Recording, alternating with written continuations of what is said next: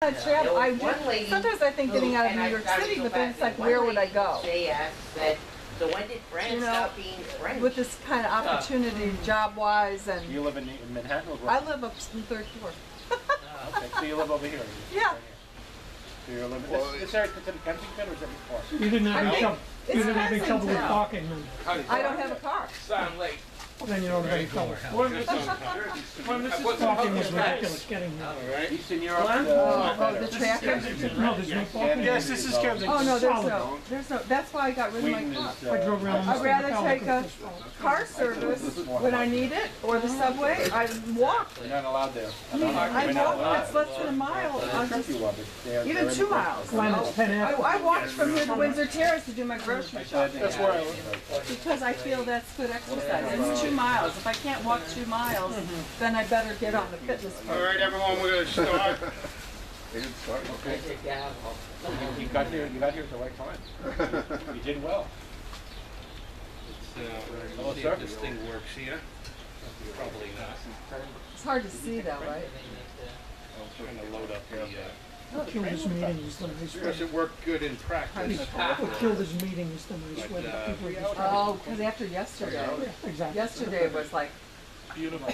no, today is beautiful. The sun didn't appeal about six o'clock yesterday. Well, it depends on your definition of beautiful. Oh, it's cool.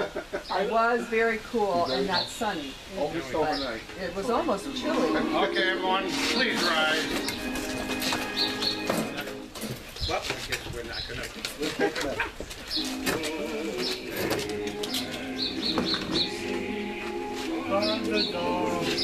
What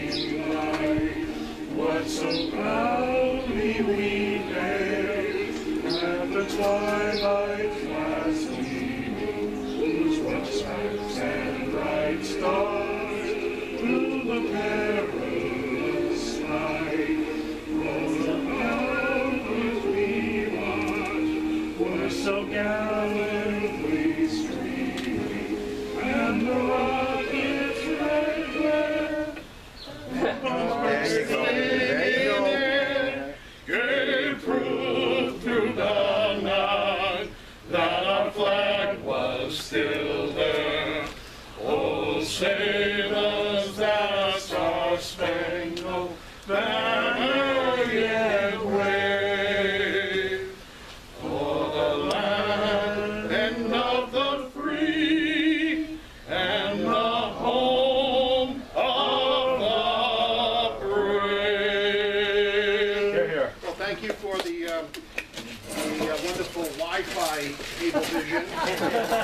We're interrupting. Get our- Verizon. Well, that was fun. Anyway, like I said, it worked good in practice last night at two in the morning. Good eBay purchase, but without further ado, before we have our featured speaker and our entertainment for today, we're gonna have uh, Larry Schneier.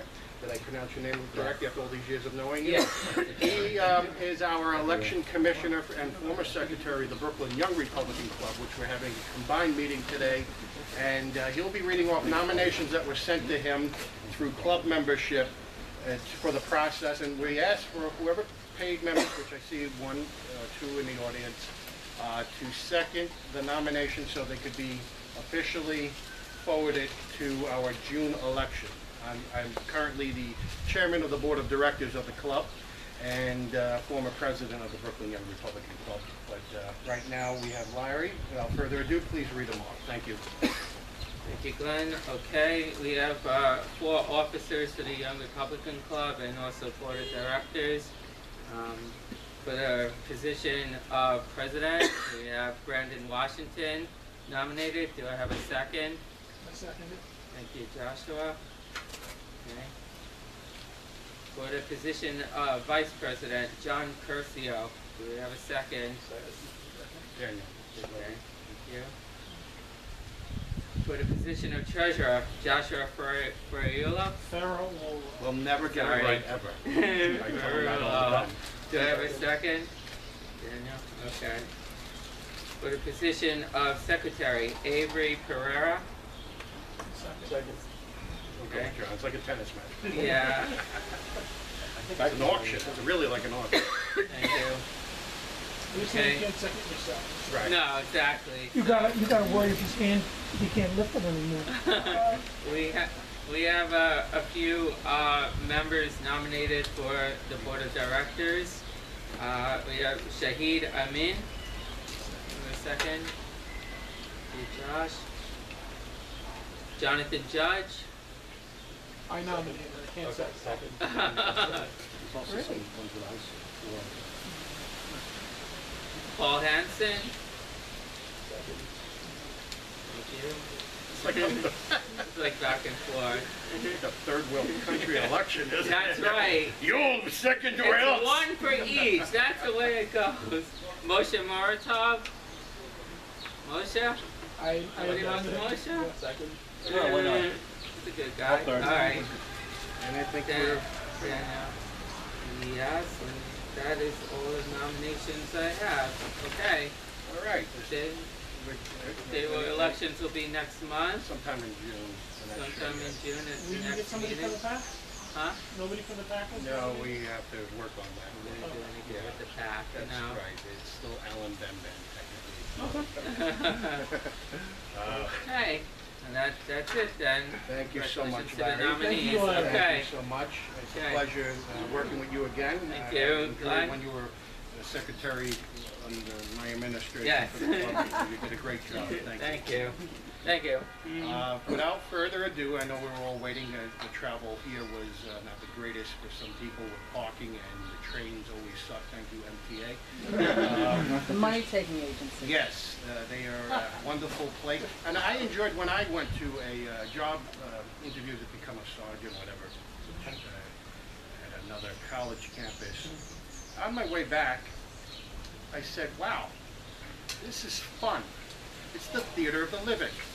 I had a, uh, a person say, hi, I'm a homeless veteran. Mm-hmm. Okay, we don't know if it's true or not. And I should, it's something I should ask them all the time. I think it- someone mentioned, what's your FF 214? Isn't that a discharge or something like that, I believe? Uh-huh. An FF 214. So the trick is, next time you see someone pur- purporting to be a veteran, which they might be, mm-hmm. And to, way to uh, see if they're lying or not, and using the, that as a, uh, way to get money, is they, okay, I just want to know, do you know what an FF 214 is? Just remember Valentine's Day and FF, like, go F yourself. So that's one way of, hey, John is our vice president of the Brooklyn Young Republican Club. We already did the nomination, so uh, Oh, you've been nominated. congratulations. You've been nominated. You've been nominated to another year sentence, I mean, another. Uh, So you could do FF 214 and you'll, so anyway, as, as the person, uh, you know, I gave him a dollar. It's one after the other. It's not Oh, just it one. was. So as I gave him a dollar, then this other guy comes in. I think he escaped from the Revolutionary War because he, he had his feet wrapped with bandages, like you know, like he was at Valley Forge. So uh, he comes with a with a walker, I mean with the uh, crutches, and he says, "I need. Uh, today's my 37th birthday, and I, I want." Uh, I need some money to buy shoes. I mean, because there's no, you know, churches that have shoes. And I don't donate shoes. Right? No one's donated clothing to churches and whatnot. There's no way to get shoes in this city, correct? right? There's, yeah, like, nothing, right? I find that hard to believe. That's why you have bandages on your feet. It's an act. So he, he, and he started being abrasive, cursing people. Ah, and you and your job and whatever, like saying, in you, how would you like to, how I feel like, like, wow, that's a great, some idiot did give him money. So I guess that brutal approach must work. The best say the panhandle is the day before Christmas. Okay, I'm gonna, That's when they make all the money. good, I'm gonna use that because I need to buy gifts. I'm going to, and then the next person came about health care for dogs. I mean, I love dogs. Don't get me wrong. I have two of them in my house, and some people, some people call me a dog. But um, so I seen this guy. He had buckets taped to him. One here. He's blind too. One here. One here. One here. And, and I don't look. I'm sighted. I can't stand on the train to begin with. I'm holding on to like I'm on the Poseidon adventure, you know. I'm, uh, next thing I'm gonna know, it's gonna be uh, Shelley Winters with her little, little medal from uh, uh, her swim meet in 1930 something or other when she was in high school, and she's gonna lead me underneath the water to get to the other side of the ship, because that's what I feel like when I'm on the train, because I'm constantly falling and falling, and the Christmas tree is hanging. If anyone has seen the movie from 1970 something, knows my stupid reference, then you know what the hell I'm talking about. So as he's coming, as he's coming, uh, he has these buckets taped to him so people could throw money or like a coin in the thing and you could get a goldfish, it seems like. But so he's like health care for my dog, you know, blah, blah, blah. I'm like, this is a freak show. I said, hell no am I going to take that position at Hunter College because I'm not taking these damn trains. I'm 10 Stick minutes away Brooklyn. from my job over here through car, and there's no way in hell, you don't. Well, take a seat. There's no way in hell am I going to be taking a train ever again. So, um, That's how love yeah, an hour and a half of hell. When you drive, don't forget all the boy. panhandlers. Welcome to the Oh, yes, well, Well, that too. And that's home why I have windows that go up and down and uh, the you windshield wiper Wakefield fluid. Express bus, Yeah. I won't take the trains anymore. Get away, get away. It's hard to see that way. So anyway, without further ado, I guess I was the warm-up act. Yeah. More, and here's the other act right there, Alan. Welcome. I can get on to my case, Glenn. Not gonna be a good one. Right. So, Keeping our sense of humor. without further ado, um, if anyone could just pass that uh, sign-in Sign-in sheet to the. yeah. Well, Alan, you already signed in. I got you signed in already. Terrific. Uh, just Does anyone need a bottle of water? We have Yes. water over Yes, here. just pass some water around. Also, Well, I think Howard it's brought- warm, so. Howard It's all brought right. some Just water too. warm Thank you, water is Howard. actually supposed to be more quenching. Glenn, you think those you know guys that? pay, pay their fare to get on the Thanks. subway? This one's What? Whoops, sorry about the foot. Panhandling. Oh, I. Anyone else? Here we go. Anyone else? Sure they do, but maybe not.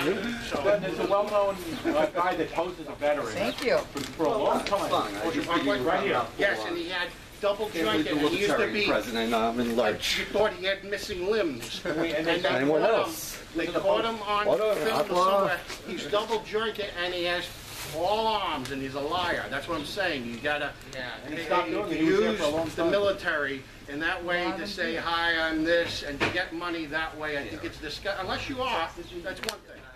But if you're not, and you're using that, I find it hard to that's believe guys in the disgusting. military And would that's really why I do use that tip. What's your FF two fourteen? What is that? If they don't know that, then they were never in the military. And that's discharge. Glenn, I'm a veteran, what is an FF? Uh, that's what, no, you're not, sir. I believe that's I a know what it, discharge. I know what a Discharge, right? DD two But fourteen it- is. I think you don't get my, you get disarmed discharge. Maybe in your day it You're was not, dis- DD, if now you're it's dishonorably FF. discharged, you're I not, think, I'm not Maybe sure it's like about for age discharge. group. okay. Used to be DD two fourteen. Maybe it is DD. That's what mine is. DD two fourteen? Yeah, I don't know what FF two fourteen Well, so is. maybe maybe it was also done by, by Maybe I'm wrong with the decade. FF and I'm thinking FU on. Okay, well, You're right, I think it is. Another thing to catch them, ask them what their MOS was. Well, their rate was, their rate was different than Navy. I don't know what rate means either. You got me again. That's you know I what was would be in Navy for a interesting? To do a study. called MOS. Right. To find out how many of What the job people, is. Yeah. to Give a do, number to someone what your like, job you know, is. man on the street or woman on the street, They were a we never, we never and then used. say we Yeah, we did. interviewed a thousand of these people, and nine hundred and There was ninety-nine a of number that them went didn't it, know but we- that. Never really Right. thought about what Well, that's it true. was. I mean, Because we would wanna like support a military person who Right. just needs help, right, but I doubt if too many of them are like that. right, so we'll see, yes. FF two fourteen is a fuel filter. Well, what's a DD two fourteen? I think, I think. the more- That's what it is. Fuel filter, That's your discharge papers. okay, The see, fuel filter? see, this is why we need Oh, DD wisdom. two fourteen, correct, see, I stand correct. This is why Ex- we have There's you in the no audience substitute here. for This experience. is why we have you in the audience here. That's right. So he, he's our, uh, uh, Fact checker. fact checker, thank you, not like the liberal fact checker. No, no. We're like Stokes. Oh, oh, Trump said this. See? Ah! this is why we have to So that's why respect we're Marty here, experience, thank you. yeah. It's DD two fourteen. And also, before you knock veterans, like that horror in Times Square the other day, Yeah. that fellow who drove that car was dishonorably discharged from the Navy. Thank you. And they keep referring to him as a Navy veteran. It's kind of a strike Oh, against the guys in thank the you Navy. for letting Today we us call know. Navy He was thrown out of the Navy. Right, The belief is he was using drugs. Yes. Gee, I wonder. He had two, uh, DWI, why, what do you Without have a further license? ado, I know we're a all junkie getting a and little an alcoholic. disjointed. Why do you still have a license while It's one? fun, you know, it's fun. It's the election cycle. He said he was a Look, we Republican, have a too. here. Welcome, Carpenter Beat. Um, so, without further ado, Eric. It should be electrocuted. That's it. By show of hands, how many of you have never heard me before? Okay, all right, so some of you might be bored. Um, you know, especially a bit. Um, a picture is, well, by the way, I want to say I, I good to see Alan, good to see Larry. So welcome to this uh, meeting of the Zionist Crusader Alliance. and uh, you know that's why I was so happy when this whole Comey thing went down, and they were blaming Rod Rosenstein. Yeah. It just, I said, it's about time somebody blames a Jew for something. and uh, as a proud Jew for myself, that was just, it was a nice change of pace. Um, a picture is worth a thousand words, so let me start out with something that to me is worth a million words. Let's uh, do what we can to make it a reality. Yeah. Oh, So we'll this keep whole this thing here. might Provide, backfire on provide the some, told me it's the first Yeah. he wasn't doing it. provide some inspiration here. Um, a few uh, disjointed uh, things before getting to my somewhat disjointed remarks. Um, I'm not going to do what I did to a Tea Party group uh, in Los Angeles. They, you know, LA's a little more kicked back and it's not as dignified as Brooklyn. And so I said before I give my remarks, you know, I kind of want to be comfy, so I want to, you know, take my jacket off. And so I did, and that's where the similarities end today. And then I said, you know, I, I know this kid's running around and stuff, but I know we're in a restaurant, but I want to kick my sneaks off. And they said, well, that's a little bit strange, but okay. I said, look, I understand there's women and children running around. It's a very conservative crowd. But before I speak, you know, I want to be comfortable, so I want to take my trousers off. and I didn't see what the big deal was because, you know, what man wouldn't take his pants off in front of a room full of conservatives when he's modeling in awesome Duck Dynasty pajamas? and uh, after they gave a couple people the defibrillator and, you know, let them know it was going to be a friendly presentation, I told them what I'm going to tell you. I took the jacket off. I took the sneaks off. I took the pants off. But I'm here today to talk about the left. So what I need all of you to do, take the gloves off, okay? None of this New York politeness that you're all known for, okay? Take the gloves off, because the left are coming for you. They hate you. It's personal with them. Just take the gloves off. A- a- And I also want to say that I'm so glad to finally be in a part of the country where people speak English because I was earlier today in a part of the country where, you know, they're totally incomprehensible. They speak a different language. I was in New England and um, just horribly wretched accents. I asked the guy where he was from and he kept saying Vermont over and over again. I didn't understand what he was saying. He kept saying Vermont, Vermont, Vermont. I thought he was saying vermin. I saying, oh, Vermont! Okay, and so it's nice to be among my fellow Americans where you can understand me and I can understand you. Now, a couple more disjointed remarks. Um, I know you're all broken-hearted about the fact that uh, you know Republican corruption is running rampant. Of course, by Republican corruption, I mean Chaka Fattah, Corrine Brown, Anthony Weiner. They're actually running out of Congress people on the other side. And it's actually fun to watch. The new battle now, it's going to be a battle royale. If you think the 2018 elections are going to be vicious, now Huma Abedin and Anthony Weiner are going to have the mother of all custody battles. Each one badly wants the laptop. And, and frankly, I want to know what's on that thing too. And so, a couple other disjointed remarks before getting to my somewhat disjointed remarks. This is not a Los Angeles-based fashion statement. I had LASIK eye surgery, one of the best things I ever did. I could see everything crystal clearly.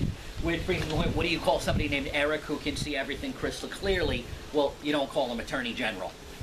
and if uh. President Obama wants to reduce the level of gun violence, sir, you had your chance. Don't pick a gun runner as Attorney General.